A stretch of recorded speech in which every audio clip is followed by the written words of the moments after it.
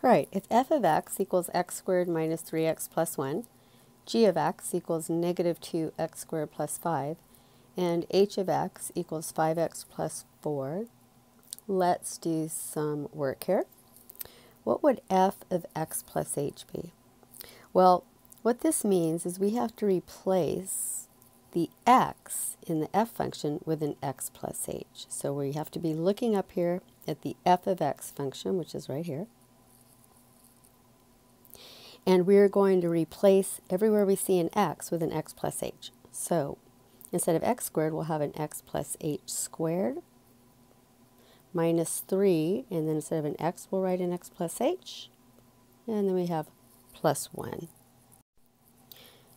Now remember, x plus h squared is not x squared plus h squared. x plus h squared means x plus h times x plus h, right?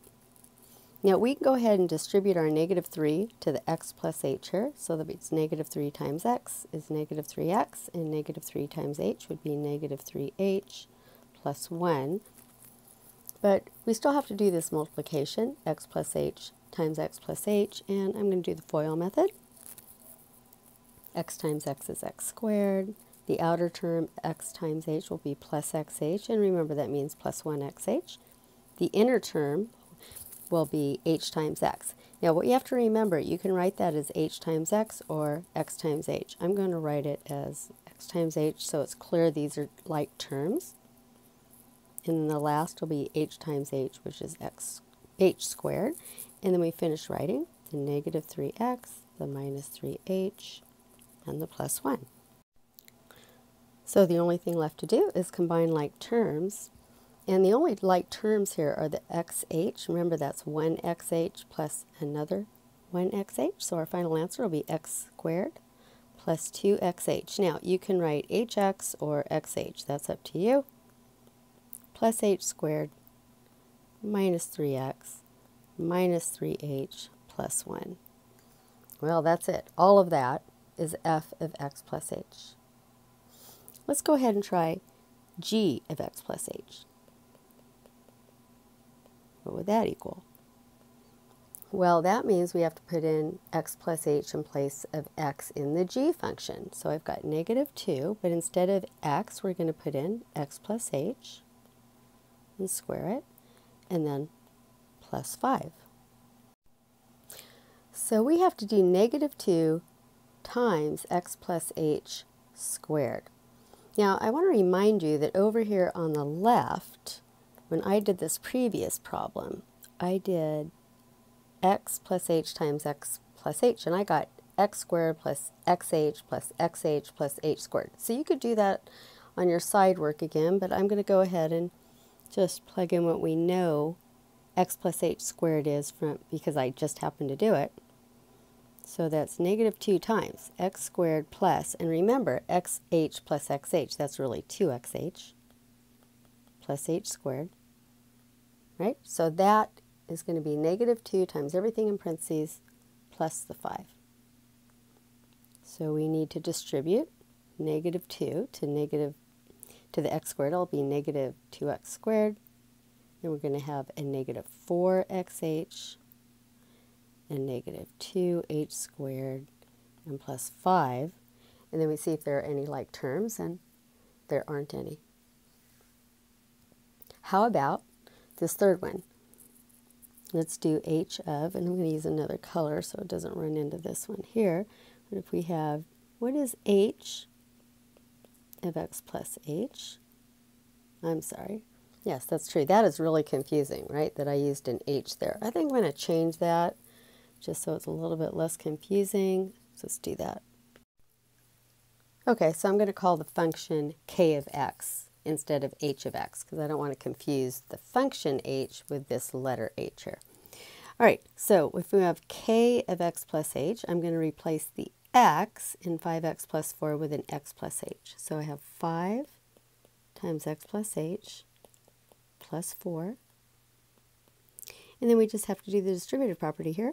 5x plus 5h plus 4, and that is k of x plus h. So this is how to compute, for instance, um, f of x plus h or g of x plus h or k of x plus h. Now let's say we wanted to compute f of x plus h minus f of x. Well, I've already computed f of x plus h, so that would be this x squared plus 2xh plus h squared minus 3x minus 3h plus 1. All of that is f of x plus h, right? And then I'm going to subtract what f of x is. Well, that's the original function up here top left. I'm going to subtract x squared minus 3x plus 1. Now notice I have to put that in parentheses. So to finish this, I need to distribute that negative sign. So we have x squared plus 2xh plus h squared minus 3x minus 3h plus 1. And now I'm going to distribute minus x squared plus 3x minus 1. Last step would be to add the like terms. Well, x squared minus x squared is 0. Um, let's see, I've got a 2xh. There's no other like terms with that. Then I have, and I'm going to cross this off so you could see, you know, these in other words are going to go away. And also look at this, the negative 3x and the positive 3x goes away, the plus 1 and the negative 1. That's just so it's easy to see what's left. So what do I have? I have 2xh plus h squared minus 3h and that's it. All right, how about doing k of x plus h? Oops, sorry. Little mistake there. So we're going to do k of, let's see, here we go, k of x plus h minus k of x. See if you could do that. So remember, right here is where we had that's equal to k of x plus h, right?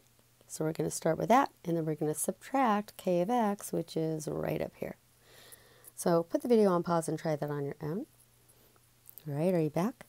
All right, so if we put in k of x plus h, that was the 5x plus 5h plus 4.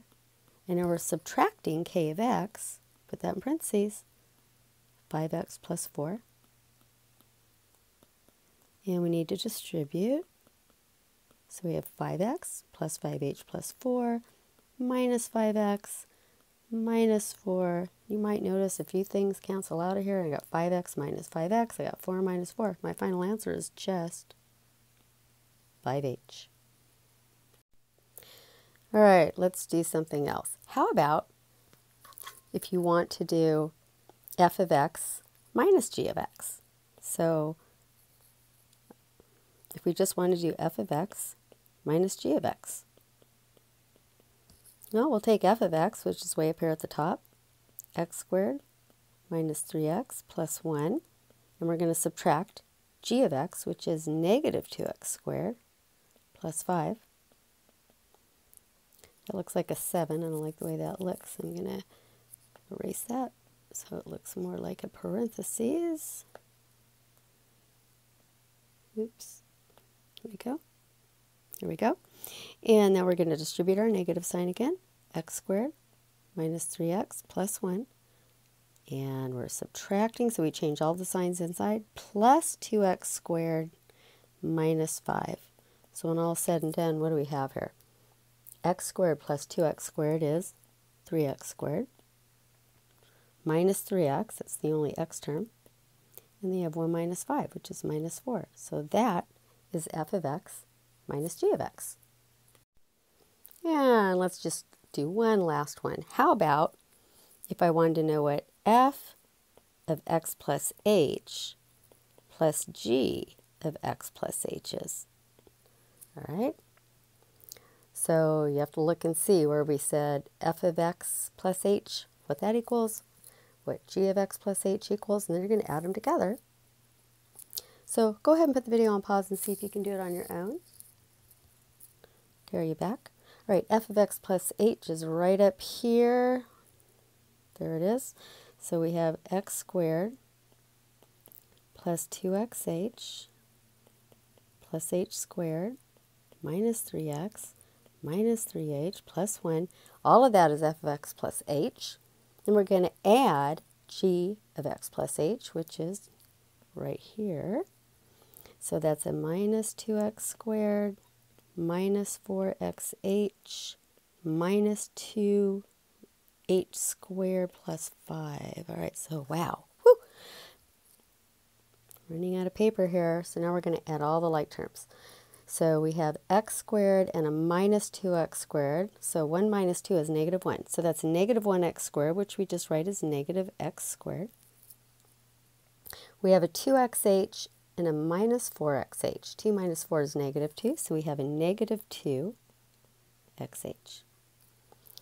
I have an h squared and a negative 2h squared. So 1 minus 2 is negative 1. We'll just write that as minus 1 or just negative h squared. Let's see, I have a negative 3x, and I don't see any other x terms, so we just write the negative 3x.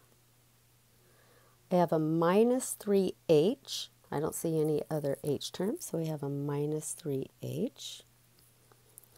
And I have this constant 1, and I have this constant 5. 1 plus 5 is 6. And we've already got the x term, the xh term, the h squared term. So you know what? That is it. So what? how many problems did we do here? We did one, two, three, four, five, six, seven problems. So I hope this helps. My suggestion, which is would be to write what f of x, g of x, and k of x is on your own paper and try all these on your own. See if you get the same answers.